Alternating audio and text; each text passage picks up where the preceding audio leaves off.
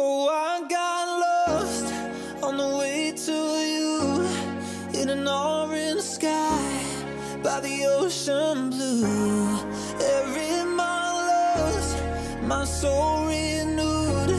Olá, sejam muito bem-vindos para mais um vídeo aqui no canal. Hoje venho trazer uma proposta diferente para vos mostrar os recebidos de produtos de cabelo e ao mesmo tempo conseguir testá-los todos num só vídeo. Portanto, a proposta é mostrar-vos o que eu recebi e usar os produtos e dar-vos o feedback. O que é que vocês acham? Os produtos foram todos oferecidos da mesma empresa, uma empresa que está em lançamento, um site de produtos de cabelo, que é cabeloecorpo.pt.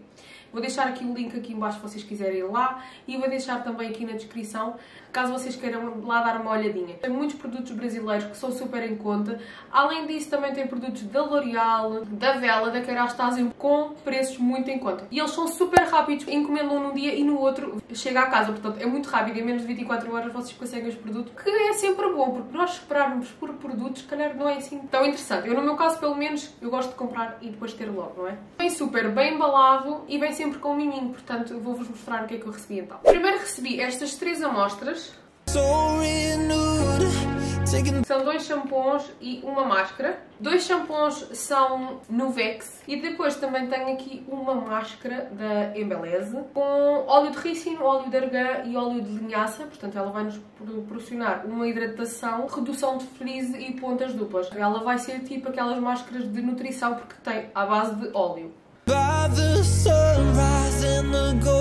Depois os dois shampoos, um é para cabelos encarcolados ou ondulados. Normalmente este tipo de shampoos são muito mais hidratantes porque são feitos para cabelos crespos e ondulados. Têm tendência a serem shampoos mais hidratantes porque os cabelos são muito mais secos do que os lisos.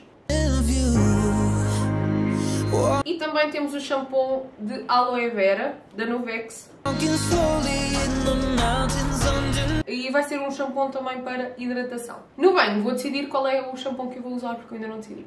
Depois, eu estava doida para experimentar esta máscara porque ouvi falar muito e sinceramente nunca me tinha dado para comprar, mas já que tive esta oportunidade, eu recebi uma máscara que o nome é assim um bocadinho diferente. A máscara então chama-se Morte Súbita. Ela é da empresa Lola. É uma marca muito conhecida brasileira. Eles têm sempre assim nomes muito diferentes dos produtos deles, em que esta é morte súbita e o que é que vai fazer esta máscara? É uma máscara super hidratante. Ela tem extrato de aloe vera, óleo de coco, ela é especial para cabelos danificados. Além disso, também é testado dermatologicamente e é vegan. O uso pode ser todas as semanas usarem isto como manutenção. E depois, é- uma curiosidade sobre estes produtos é que eles trazem sempre frases muito engraçadas. Este diz assim: Nossa máscara morte súbita é assim, ou você ama ou você não conhece. Acaba com os dias de cabelos secos e detonados sem dó nem piedade.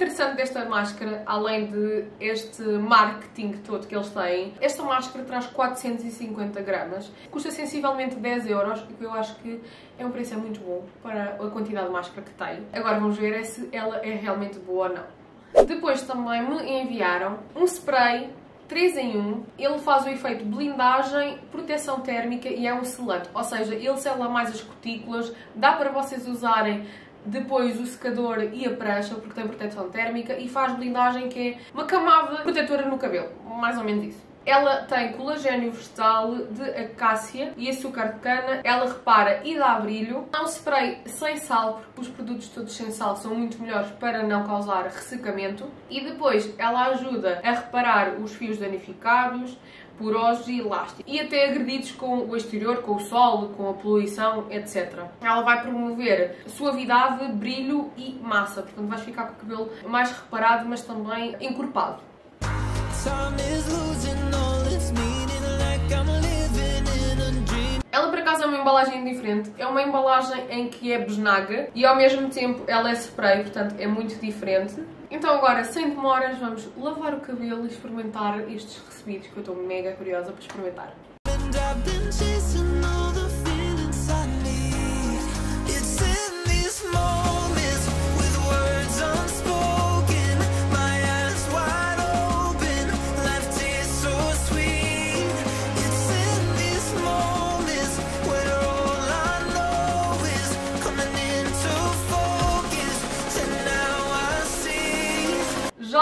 cabelo então com o shampoo e venho-vos aqui dizer o que é que eu achei. Não tenho assim muito boa coisa para dizer, quer dizer, mais ou menos. Então vamos começar pelo shampoo, em que basicamente eu detestei-o logo assim que tentei-o abrir porque não dava. Não tem abertura nenhuma e eu sou super atenciosa para ver as aberturas até nas bolachas. Eu vou ver onde é que se abre como deve ser. E digamos que aquilo não tem abertura nenhuma fácil, portanto tive que pedir ajuda ao Miguel. Ainda bem que ele estava em casa. Não gostei do shampoo. Primeiro achei logo que rendeu muito pouco e trazia pouco produto. Só rendeu apenas para uma lavagem. E como não lavou assim tão bem, não achei que lavou assim tão bem, eu tinha necessidade de passar duas vezes, mas não tinha mais shampoo. Só me rendeu uma vez e achei que não lavou assim tão bem. Portanto, vamos ver como é que vai ficar o resultado. Espero que não fique o cabelo oleoso, porque eu odeio estar com o cabelo assim meio colado à cabeça. Dois pontos. Estou a falar de produtos de amostras. Considerando que isto é uma amostra, o produto não é fácil de abrir, portanto é um ponto negativo, mas a qualidade do produto também não achei que fosse assim a melhor por ter necessidade de passar duas vezes. Apesar de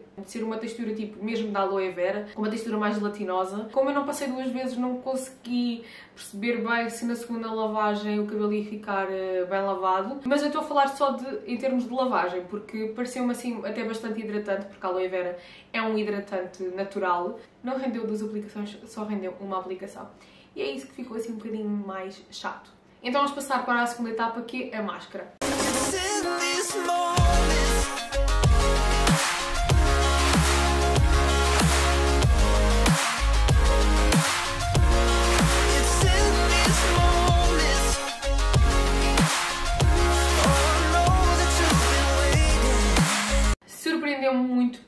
Principalmente pela textura e pela facilidade de passar no cabelo. Eu adoro máscaras que sejam muito concentradas, porque vão render muito, e esta rendeu bastante. A facilidade de aplicação foi boa, o rendimento foi bom, mas depois outra coisa que eu não gostei assim tanto foi dos 10 minutos que tive que ficar à espera. 10 minutos para um banho é muito demorado, principalmente quem é mãe, principalmente quem tem filhos e precisa dar logo atenção.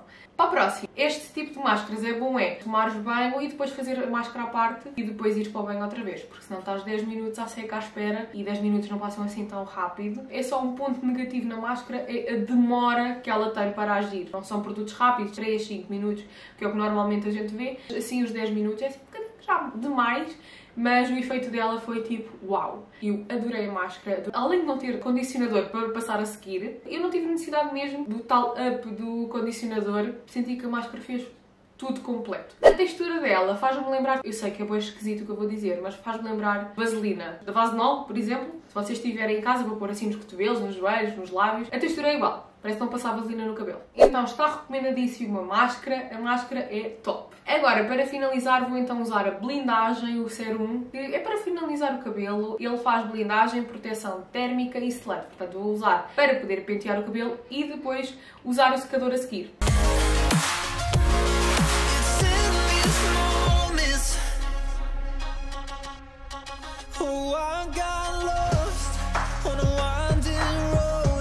Minha escova preferida pós-banho. Começar por baixo. Ele é mega fácil de escovar. Uau!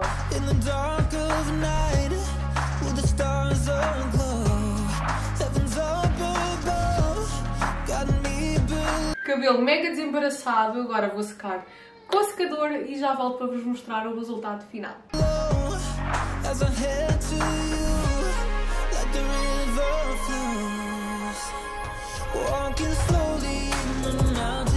Cabelo seco e finalizado apenas com o secador e este foi o resultado. O que eu vos tenho já a dizer? Eu sinto o cabelo mega hidratado, muito, muito, muito hidratado. Dá para passar assim os dedos, foi fácil de secar. Eu também seco apenas com o secador apontado para baixo. Acho que o cabelo está muito, muito brilhante, mas acho que ele podia ter ligeiramente deixado o cabelo com menos frizz, já que a máscara é tão concentrada, pensei que deixasse menos frizz, apesar de não estar assim nada de especial, mas não sei se vai- vocês vão conseguir perceber o frizz que eu estou a dizer. Aqui, esta zona aqui, por exemplo. Mas pronto, não é nada de outro mundo. Eu gostei muito da máscara. Acho que foi o produto que eu mais gostei. Do sérum eu não vi resultados nenhums. Não sei se este brilho também tem a ver com o sérum ou não por causa da blindagem. Mas não vi assim grandes diferenças. O único ponto negativo, sinceramente, eu não sei se vocês vão conseguir perceber.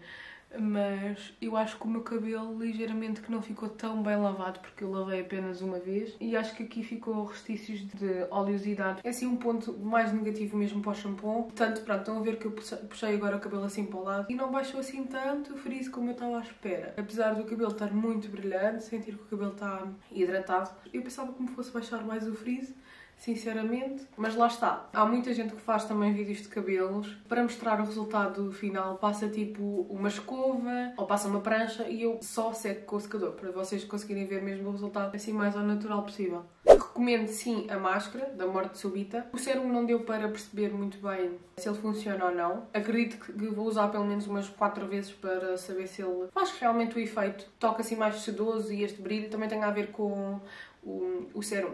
Se gostarem do vídeo, cliquem no gosto. Não se esqueçam que na próxima sexta, às 18 horas, temos vídeo novo aqui no canal. Não se esqueçam de subscrever. Passarem no Instagram AndreaVelosoPT para vocês me acompanharem no dia a dia. E é isso.